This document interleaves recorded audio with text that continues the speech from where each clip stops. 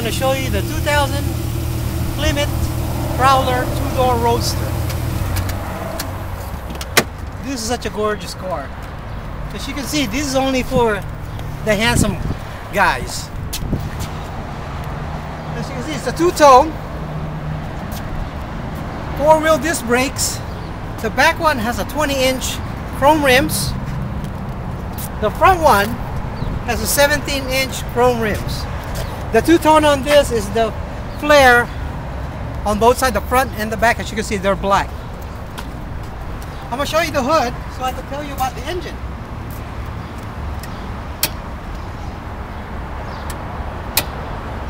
This car has a 3.5 liter V6 24 valve engine. Isn't that such a gorgeous car?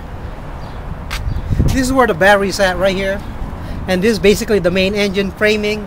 And it's just a, such a beautiful, gorgeous car. You know, if you, if you have a girl sitting here, they're probably going to say, where do you live at? No, I'm just joking. I want to show you on this side. This is basically where your future wife or your girlfriend going to be sitting at. This has a CD, cassette, aircon, power window, power door locks, power rear view mirrors, cruise control, gauges. It has 150 miles speedometer right here, cruise control, tachometer, all leather all around with a safety bar in the back. What I'm going to show you is the trunk now.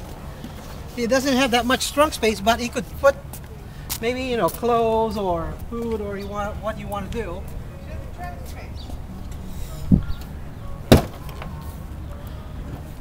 And basically, this is your trunk space. I don't recommend you guys putting any body here, but because you should not be putting any body here. Basically, you just put groceries or clothes in there.